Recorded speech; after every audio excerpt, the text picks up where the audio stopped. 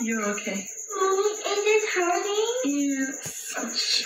I love you so much. Also, my dad has a picture of you.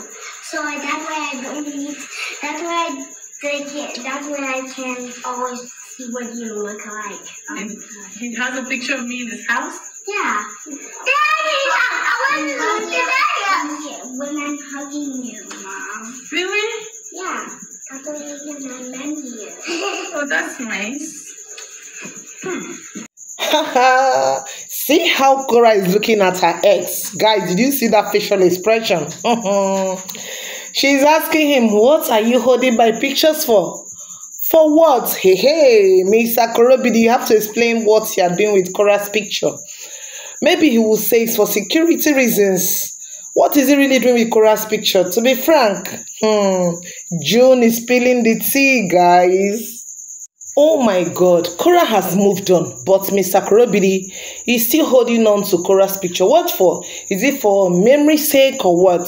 Remember that he has deleted um June Dean's page. Yes, he and his minions have deleted June Dean's page that Korra has been managing for the past five years.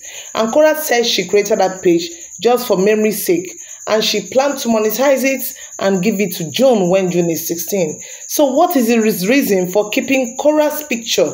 That's what I'm asking. Hey, hey, this man is just buying slowly. He's just there buying himself. Some people are of the opinion that he is keeping the picture because that is the mother of his children. All right. If that is his reason for keeping the picture, that means it is coming from a side of love, right? But looking at the other way, where he has been trashing this woman for years now. Yes, for two years plus now, he has been trashing Korra on social media. What do you have to say about that? Is he supposed to be keeping the picture of someone that he has been trashing on social media? Someone that has been dragging to court? Someone that has been disturbing her source of finance all this while? What is the essence of the picture that he has kept, guys? We need an explanation to this. Saying that he kept it because that is the mother of his children isn't enough reason.